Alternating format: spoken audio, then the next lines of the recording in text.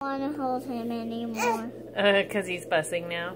I think he wants some milk. What do you think? What should I do? Some milk. Okay.